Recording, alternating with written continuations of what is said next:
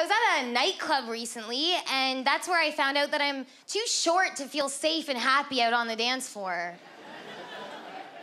I found that out the hard way. I was like on the dance floor, minding my own business, like, like cool moves. Like, I don't have time to show you with the cool moves, but cool moves and all. And then this like big threatening oaf comes out onto the dance floor, like, and you just knew he was in the market for a girl's butt to grind.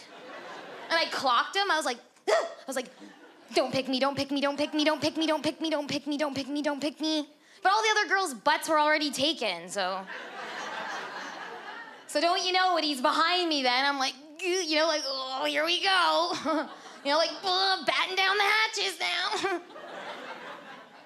and look, this scenario that I'm describing would be bad for anybody, for any girl of any height, right? Like any girl, it's bad. Nobody wants their butt grind or ground, maybe ground. They don't want their butt ground, ground down into a fine talc. No one wants that, especially from a lummox. No one wants it.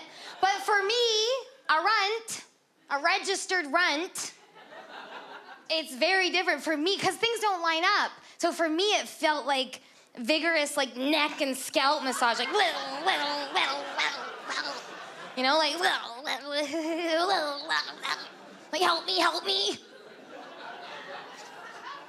But like from a masseuse who used just one awful finger.